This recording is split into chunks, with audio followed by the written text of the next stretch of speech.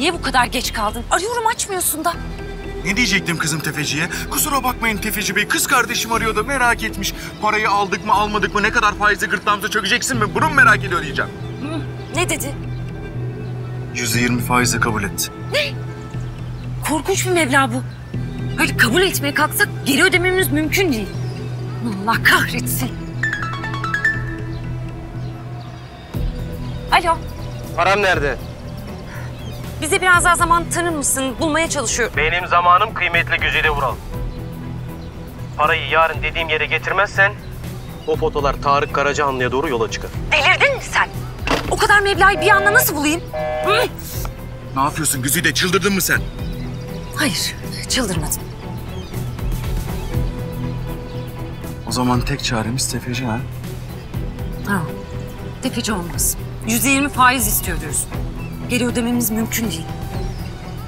Benim bir bankanın genel müdürlüğünde üst düzeyde çalışan bir arkadaşım var. Onu arayıp tepeden bir yerden çözmeye çalışacağım krediyi. Öyle diyorsan. Tamam hallet bakalım. Ama halledemezsen tek çaremiz tefeci.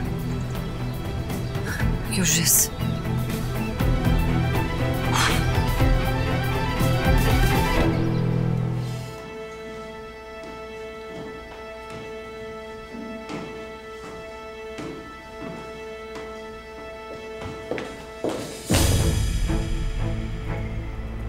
Senin ne işin var burada?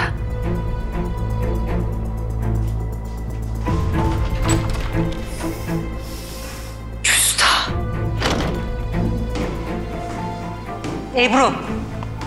Bu kız odasında kilitli kalacak demedim mi? Ne işi var burada? Tuvalete gitmek istedi Hülya Hanım. Ben de şey edemedim. Ayşe yok. Dolaşmasın böyle ayak altında. Varlığı sinirimi bozuyor. Emredersiniz. Yok.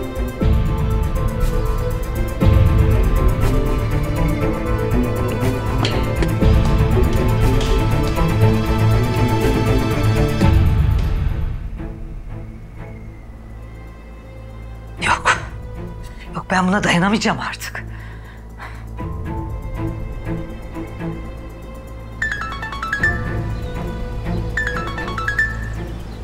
Güzide, neredesin? Ne zaman geleceksin?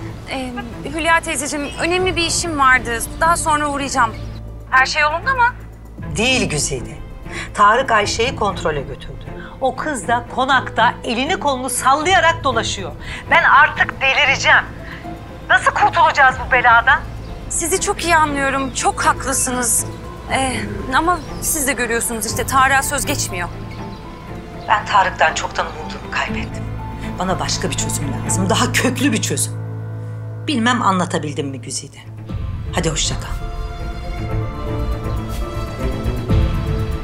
Başımda onca bela yokmuş gibi bir de Hülya Hanım'ın kaprisleriyle uğraşıyorum. Ya boş ver şimdi Hülya'yı. Bankacı arkadaşından haber var mı? Birazdan arayacağım dedi. Umarım onaylatır krediyi. Gir.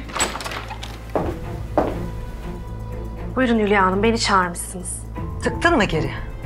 Neyi tıktım efendim? O kızı odasına tıktın mı geri diye sordum. Ha Elif mi? Odasında efendim. O kızın adını bir daha asla duymak istemiyorum.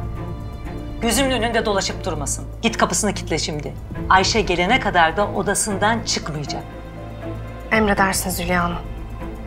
Gidebilirsin.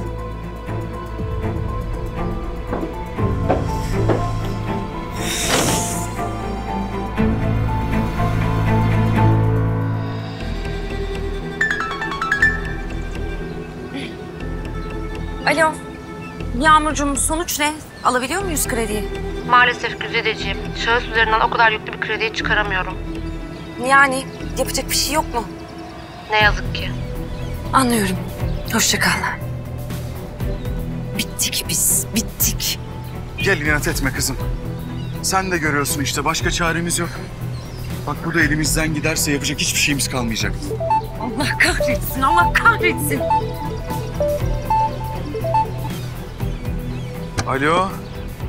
Kuşum ne haber? Kızım biliyorsun ama bu aralar işler karışık yoğunum. Ben de seni çok özledim. Ha. Ee, Nihat Bey, e, şu an önemli bir toplantıya giriyorum da. Daha sonra arasam siz. Tamam, iyi günler. Ne diyorsun Güzide? Tamam. Neyse ne. Git al şu parayı bitsin bu kabus.